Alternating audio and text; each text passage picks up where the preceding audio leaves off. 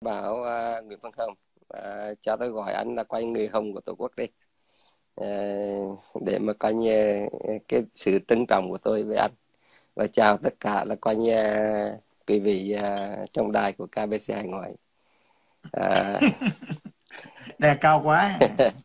Kể nào để cho coi cho em một cái uh, cho anh cái tên này để cho nó mở mẹ chút.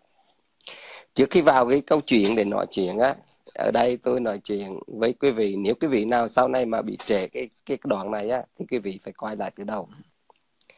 Khi tôi nói như vậy á, là tôi nói về vấn đề là những người mà có cái sự mà hoàn cảnh như nghèo, có cái hoàn cảnh khó khăn và những cái hoàn cảnh mà nó ờ, éo le lắm á, thì quý vị có những cái cái hưởng cái trợ cấp hay hưởng những cái gì mà của Đức nước Mỹ này cho quý vị đó là tôi ủng hộ và tôi hoàn hoàn toàn ủng hộ. À, đó. mình phải nói là nói để cho coi như là là cho cái chính xác á, là những người khó khăn những người mà có như già cả hoặc là có bệnh tật hay là cái gì điên không cái gì đó cái họ Đức Mỹ này họ sẽ cứu ma quý vị. Đây là cái chuyện mà thật và tôi ủng hộ. Là nếu ai không hiểu về cái chương trình đó tôi sẽ cung cấp và là coi như giải thích cho quý vị để mà quý vị apply vào cái, cái những cái chương trình đó để mà hưởng cái phúc lợi đó. Còn đây là tôi nói là nói những cái kẻ mà họ dùng cái lòng tốt của là cái đức Mỹ này họ thu lợi những cái mà cái cái cái cái đồng tiền là của là quay người Mỹ này mà cho họ mà coi những người Mỹ này cho họ không bao giờ hỏi nhưng họ lúc nào cũng là lợi dụng cái đồng tiền này để mà dùng cái đồng tiền này thu nhập vào cái gia đình của họ họ muốn là quay có cái tài sản cho bự và tốt thêm nữa đây là tôi nói những người cái thành phần đó chứ không phải là thành phần mà khó khăn với nghèo khổ hay là coi như có hoàn cảnh ok khi quý vị mà nghe sau này những cái tập sau á mà quý vị không hiểu á thì quý vị phải coi lại ban đầu đó. để mình nói như vậy để cho họ họ hiểu là coi như mình nói ai anh không đó. Dạ. thì ở đây vào cái vấn đề mà coi như là nói về á, cái định mệnh cái chuyện tàu mà năm 1975 ừ. từ Nha Trang. Anh không ơi à, à, em em có ý kiến đây anh à, à anh à, anh Nguyễn Văn Hồng. Khi nào anh nói chuyện là anh đừng có quan tâm những người mà chat vào á. Họ chat vào họ à, phá rối hoặc là họ ờ cứ nói đi. ừ, dùng những cái lời lẽ mà coi như là, là từ ngữ thỏa thuật mình đừng có quan tâm vậy mình cứ nói chuyện anh em mình đấy là cái cuộc nói chuyện anh em mình để cho mọi người nghe và nhận định và hiểu được là anh là cái cái đàn anh tôi đàn đàn em. Tôi nói vào cái thời nào để mà nó chưa có cái những người nói. Chứ mình đừng quan tâm những cái người mà có như họ chat vào. Ví dụ có như họ say hay hay là gì nói gì là hỏi gì. Cái đó những người nào á bây giờ mình nói á cái mạng đó cái mạng facebook là mạng ảo. Nhưng mà bây giờ mình phải làm cho thật đi anh không anh biết thật như thế nào không? Thật là những người nào có ý kiến họ sẽ anh mời lên để họ trình bày những cái gì mà okay. họ, họ bất khuất. À, để mà à, bình bình à, đưa đưa cái camera lên lên chút xíu cái đầu nó bị hơi cắt ok rồi good. Ok. Thì khi đó là coi như là là là họ à, họ đưa ra những cái ý kiến mà mình thấy được cái khuôn mặt của họ đó là thật còn những cái lời mà họ dùng những cái phay mà để mà che cái bộ mặt họ hỏi những cái cái lời mà xảo quyệt hoặc là những cái lời mà khó nghe mình bỏ đi anh. À, mấy cái đó đấy đừng có tốn thời gian những người đó. Đó nếu họ có cái ý kiến nào bất đồng cho họ lên để họ họ nói cái quan điểm của họ. Okay. đó mình chơi phay là phay thật đó chứ đừng có chơi giả ảo nữa Đấy, thành nó coi như anh ờ, anh anh anh cứ, cứ nghe tôi đi. Bây giờ mình không chơi ảo nữa. Không có cái thằng nào mà đưa những cái bức hình chỉ lên để coi để mà hỏi cái này cái nọ hay là coi như chọc không lock lại lock lại. Okay. không chơi những cái loại mà coi như ảo tưởng nữa. Chơi chơi những người thật đi. Ờ, người thật việc thật đi. Ok vì ờ, cái cái đoạn phim này á nó có nhiều tập vì khi mà tôi nói á, là tôi phải nói ừ. từ bắt đầu từ Huế vào cái cuối cùng của là bạn đảo Trung Quốc. À bạn đảo Phú Quốc sorry. Để cho biết được á là cái tàn nhẫn của cái thời năm 1995 đó trong lúc di tản ừ. mà gặp phải những cái chuyện gì? Và ai sẽ gây ra những cái tội lỗi này? Họ đâu có nói lên đâu bây giờ tôi nói những cái gì mà họ chưa nói. Còn trước đây những cái thời cuộc của trước đây á các anh các chủ các bác nói hết rồi. Không còn gì để chúng tôi nói hết. Nên bây giờ mình phải nói cái cái cái điểm mà họ chưa nói. À, những cái gì mà mà họ bịt họ bịt miệng bịt coi như cái cái cái cái cái lịch sử lại. Bây giờ mình nói những cái đoạn đó thôi thì trước khi mà đi vào cái câu chuyện của là đình mình chuyến tàu năm 1975 từ Nha Trang di tản vào là Phú Quốc là à, giữa người lính và người di dân á. Thì à, tôi à, bắt đầu để mà cho các bạn à, vào càng đông khi đó tôi phải nói về à, bắt đầu từ Huế. Bây giờ là quay qua là mình phải nói à, vấn đề một hai vấn đề để cho mà người vào đó anh không thành coi như là à, cái đầu tiên tôi nói là đặt ra một cái vấn đề là một thẻ xanh một túi tiền dạ. Cái câu chuyện đây á cứ vâng dạ. cứ tự nhiên cái một dạ. thẻ xanh một túi tiền là sao khi chúng ta trị nạn qua Mỹ như cái thời điểm mà coi như là năm bảy mươi mấy cho đến mà coi như năm à, tám mươi chín chín mươi có thể hơn nữa. Những cái thuyền nhân họ vượt biển. Họ đánh đổi cả cái tính mạng của họ. Họ đánh đổi cả cái cuộc sống của họ. Vợ con tất cả những cái gì mà họ đánh đổi để mà họ tìm con đường tương lai của là gia đình họ chứ không phải là họ là có bức mạng một cái chế độ nào hay là cái gì đó đâu. Vì những cái thùng hàng nó gửi về bự quá đi. Lúc ấy á là chị tôi đi năm 1978 19 gì đó. Bà gửi về một thùng hàng mà hai ba cây vàng như vậy á. Đúng. Độ ai mà không đi. Mà tôi nói thiệt với quý vị tôi thành công á là trong gia đình tôi mà buôn bạn tôi cũng nói dối vì tôi ở Huế mà. Ai cũng biết tôi là ở Huế đó. Gia đình tôi mà mà thành công á là sau năm 1975 chứ không phải là trước năm 1975 trước năm 1975 là mẹ tôi đi ở đợ. Và tất cả cuộc sống của chúng tôi khổ cực lắm. Sau khi ba tôi mất, thành ra coi như tôi nói cho quý vị biết á, khi họ đi qua vượt biên qua là những cái thùng hàng nó chọn nó chọi mắt quá. Nó làm cho là là dục vọng cái lòng tham của mình mình phải đi. Mà thời điểm đó tôi vô, nó coi như Hồng Kông, tôi ở Chim Quan đó. Bắt đầu tôi thấy cực rồi. Nó cực cái sao? Vì mình ở Việt Nam mình có tiền, có chơi, mà giờ chứ qua đây ở nằm trong ờ, xung quanh bốn cái hàng rào như vậy, quá cực anh. Tôi muốn trở về mà không được cái thời điểm đó không được nên khi qua đây á bắt đầu tôi mới nhận được á là cuộc sống ở đây. Càng ngày tôi mới thấy được là cái mình nếu mà lúc đó mình đi về Việt Nam thì chắc bây giờ mình cũng ron rồi mình bị bị lộn hưởng rồi. Nên tôi cũng rất là cảm ơn của chính phủ Mỹ. Họ đã nhận tôi đến cái đất nước này họ đã cứu mang tôi như vậy. Thì bây giờ mình làm gì cho họ cái mà điều kiện nhỏ nhất để mình làm á đừng ăn bám đừng có lợi dụng cái lòng có cái cái, cái hảo tâm của đức mỹ này á. Rồi quý vị là coi như là xuyên xẻo cái cách này cách nọ để mà quý vị kiếm đồng tiền của đức mỹ này. Đủ rồi. Nói như người vụ á đủ rồi. Bốn coi như là bốn mươi bảy năm nay quý vị ăn đủ rồi. Đừng ăn nữa như vậy là quý vị đã, đã trả được một cái chút mà có như cái tình thương một cái, cái sự kiêu mang của đức Mỹ này. Thành ra tôi kể có cái chuyện là một thẻ xanh một túi tiền. Khi quý vị qua đây á quý vị có cái thẻ xanh. Cái thẻ xanh là coi như quý vị đã chấp nhận á, là cái cuộc sống ở Mỹ đây và chính phủ họ cho ở đây rồi.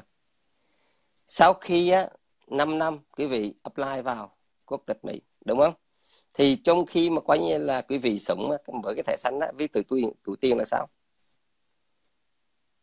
Quý vị coi này á quý vị cầm cái thẻ xanh rồi quý vị á, dùng những cái mà coi như là cái đồng tiền bất nhân bất bất nghĩa.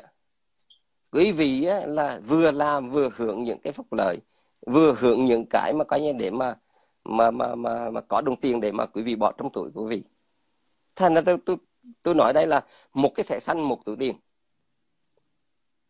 quý vị có biết là cái thẻ xanh quý vị đang có là cái chuột kêu mang của đất mỹ không? Mà tuổi tiền quý vị cũng có nữa, là quý vị lại ở đâu ra? How you get from money from? Bây giờ tôi á, ha, ba, gần ba chục năm nay, hai mươi tám năm này tôi chưa bao giờ tôi nói ai hết á. Tôi chỉ có listen lắng nghe thôi. Thời đó tôi lắng nghe từ cái người này cho người nọ. Và sau lại tôi lắng nghe những cái thành phần nữa. Và cuối cùng tôi lắng lắng nghe anh Nguyễn Văn Hồng và anh Nguyễn Nguyễn Ngọc Lộc. À, bây giờ nói đây với nói anh Nguyễn Ngọc Lộc luôn. Anh Nguyễn Ngọc Lộc là cái người mà coi như tôi cũng đáng kính trọng lắm nhưng mà anh có cái cái tận rất là coi như hung hăng cái tận rất là coi như là tự đại. Nên là coi như anh á, là nhiều khi sau khi mà anh đi cái cái vụ trường xa về á, là anh đã bị những cái problem nếu anh anh lập mà đi tiếp nữa và không có cái cái cái tận mà coi như là um, nói giống như mà một người mà quay với là là là là quân lực uh, Việt Nam Cộng Hòa quân lực chiến. Vì tôi biết là hồi đó ông uh, Bùi Thế Lân là ông uh, lúc đó là, là là ông là làm về coi như của là sư đoàn trưởng phải không anh? À, Châu Điên phải không?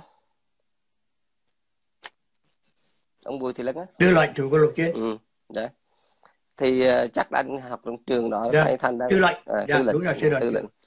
Thì ông Tư lệnh, sư đoàn anh anh học trong trường đó Dạ. thì uh, có cái sự mà coi như là kiêu ngạo của là cái quân lực uh, sĩ quân lục chiến Việt Nam Cộng Hòa là rất là hung hăng. Thời đó là tôi nhớ là uh, mang tên là Châu Điên đó Đấy, thành là coi như uh, mà khi mà Châu là điên là cái, cái húc đại thế không có cái gì thành là coi như tôi đang rất tiếc nha anh vậy nhưng mà tôi cũng Đúng. cũng mắc nợ Điên anh. là tiểu đoàn 2 dạ.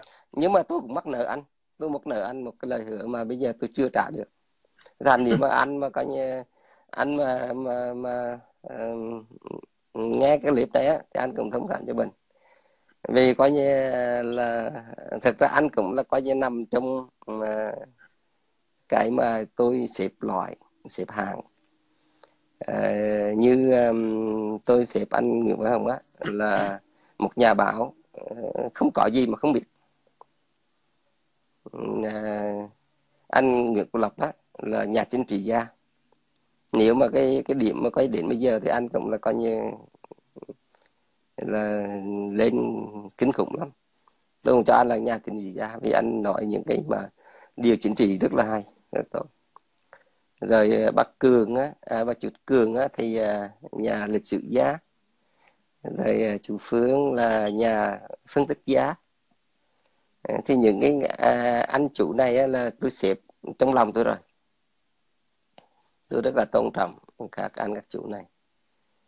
Đó, với cái nhận của là coi như à, thích và cái ý của tôi để nói là đây là tôi nói á, là những người mà họ nằm trong cái thành phần này.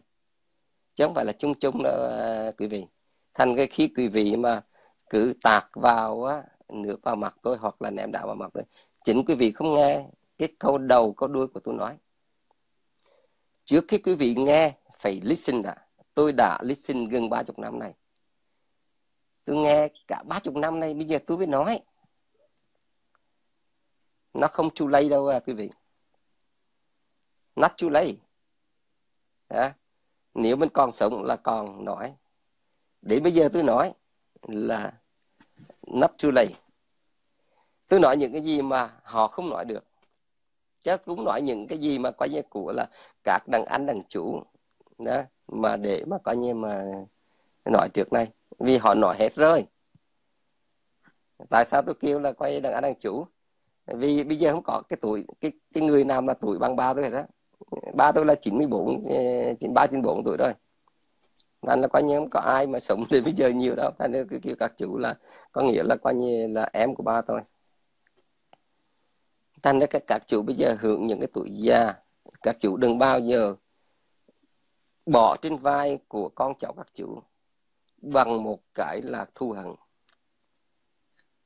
Rồi đừng bao giờ dạy cho con mình đi theo con đường của mình gian dối.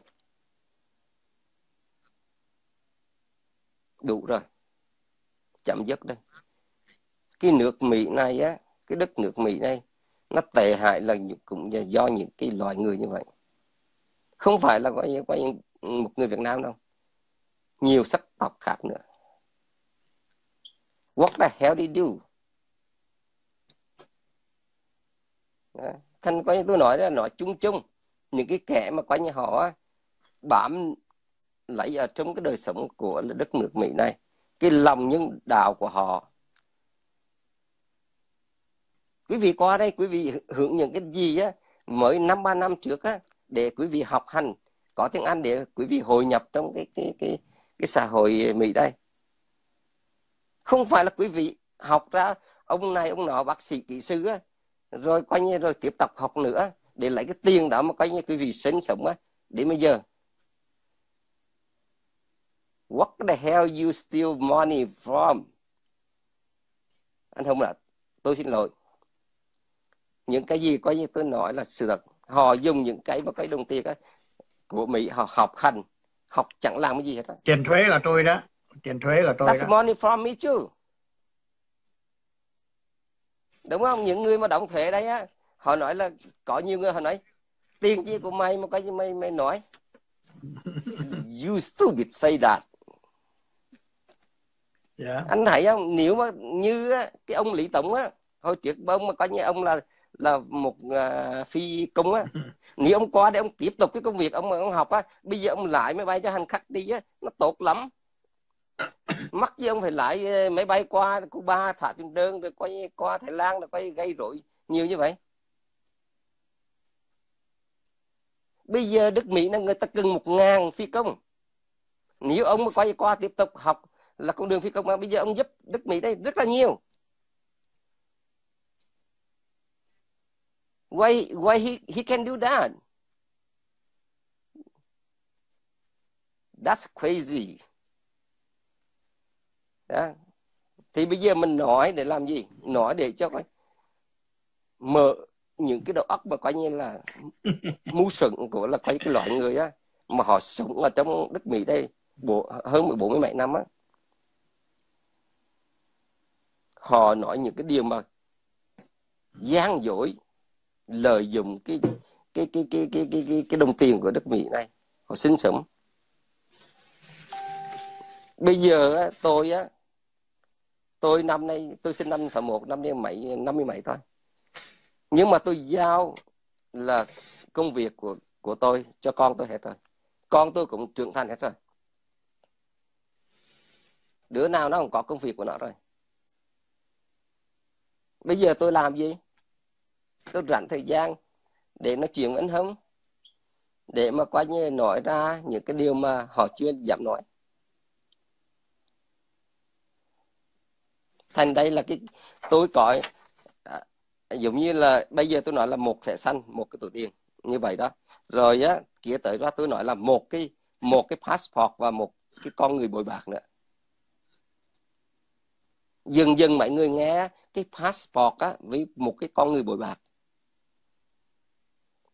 tại sao họ có có, có cái ừ. passport mà họ bồi bạc Why? rồi tôi sẽ nói đến á một cái tham vọng và một người là sĩ quan Việt Nam Cộng Hòa mất dạy với một người cha cha vợ ờ, Việt Nam Cộng sản tại sao họ phải mất dạy như vậy có phải cái tham vọng của họ không? Một cái cái tham vọng đó một tham vọng và một người sĩ quan Việt Nam Cộng Hòa. Đó mất dạy với một người cha vợ là cộng sản tập kết. Thời điểm đó ông vô là khoảng là chủ tịch hoặc là bí thư.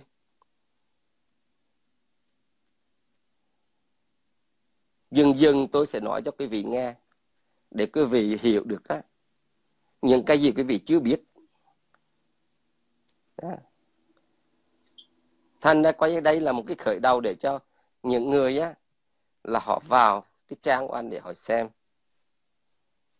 Lúc đó chúng ta nói đây là tôi nói thật với họ, quý vị hoàn toàn. Tôi không giảm để mà coi vạch mặt quý vị hay là gì nhưng mà đây là tôi nói sự thật. Và khi tôi nói sự thật là phải có một đăng anh hoặc đăng chủ để mà xác nhận cái sự thật của tôi.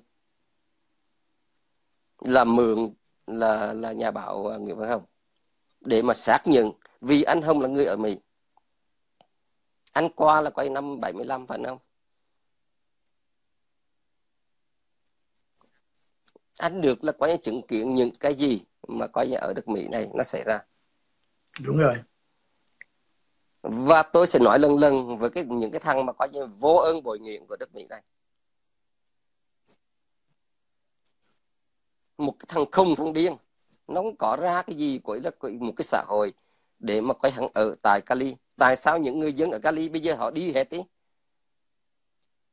Khi kia tôi qua cái mọc lên Lido Sài Gòn, tôi hạnh diện lắm. Nhưng mà bây giờ tôi không hạnh diện được. Why?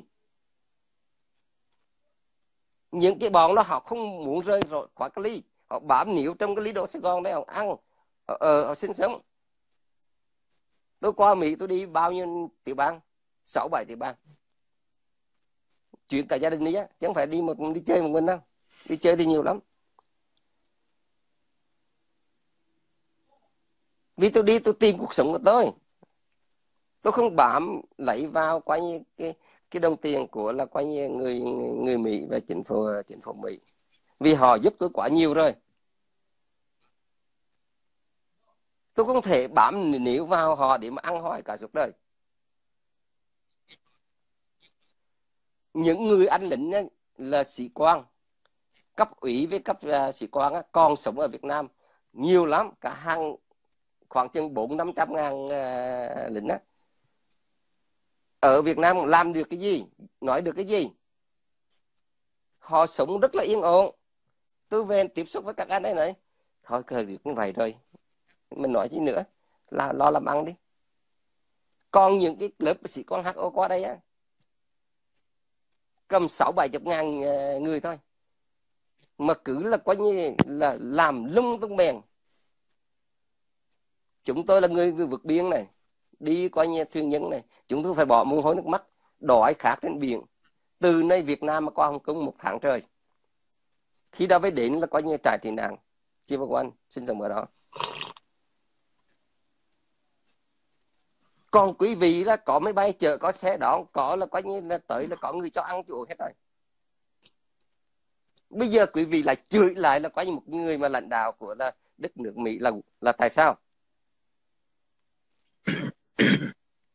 What the Đúng. hell you think about that? What the hell you you you you you, you learn from? Những cái tôi chửi là chửi những cái cái khối óc như vậy đó. Còn những cái người HO họ qua đây họ cũng tự tế lắm. Đó. Họ ở sống nép một cái thành phố nhỏ nào hay là mà họ ở làm ăn hay là coi như con cả họ sinh hoạt tốt lắm. Nhưng đây là tôi nói những cái bọn mà coi như hắn, hắn, hắn ăn tiền mì mà hắn lợi dụng cái đến bây giờ rồi coi như cuối cùng là hắn chửi là ông Donald Trump nữa.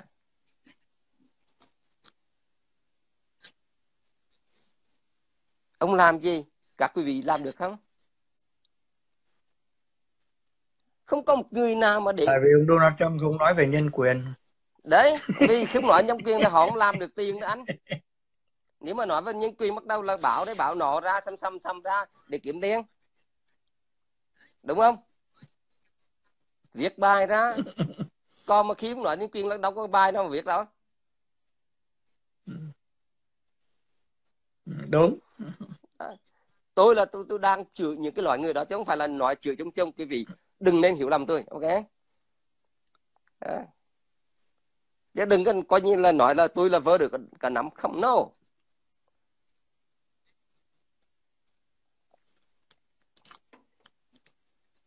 Để vô đông đông bắt đầu mình mới nói chuyện là định mệnh của cái thời à, năm bảy năm đó không? Chứ mình nói à, à, uh, uh, dòng dòng cho vui đã cái thời sự để cho coi như cho họ biết thêm uh, cái gì mà coi như mà họ chưa biết. Tám mươi mấy người rồi đấy ừ, ít lắm. Còn vô phải là coi như ít chứ là 800 người. À, 800 uh, ngàn người. Tôi phải coi như là quý vị Đúng quý vị cứ vô để nó giận nó chơi có gì cứ vô chừng nào. Cái gì vô chừng nào để quý vị á là hiểu được là cái, cái câu chuyện là cái của của là cái cái thời mà năm 75 cái thời mà chạy giặc đó, nó hỗn loạn kinh khủng lắm mà có như họ cũng là nó tăng nhận được là coi như nó, nó quá dễ sợ rồi. Đó. Anh không với quý vị có thấy không? Trong lúc mà chạy giặc đó là cái chỗ mà có như mà họ thoát đi những cái đời sống mà có như họ tìm hay là cuộc... hay là bùi uh, bùi huy cường đang muốn nói chuyện. Yeah à, buổi nói chuyện đang nói chuyện á đang buổi nói chuyện á. Cho buổi chỉ đừng lên chụp đi cho đông đông vô đây mình nói